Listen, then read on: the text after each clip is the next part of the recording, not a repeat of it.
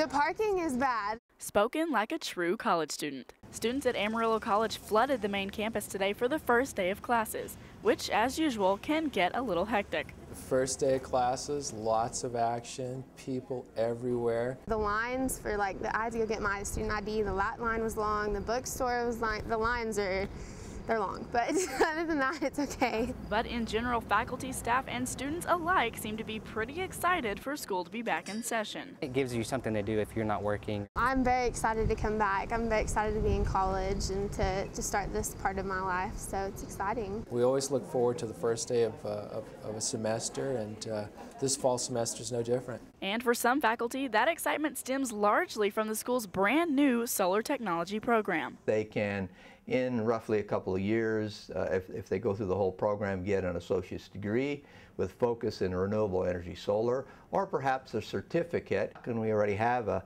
about 15 students in that particular class. That program will be offered at AC's East Campus starting tomorrow. So far, students and faculty agree they're off to a good start, but not without a little friendly student-to-student -student advice first. Ask questions, Make sure you have everything and do it all ahead of time. Do not wait till the deadline to do it. Do it way before.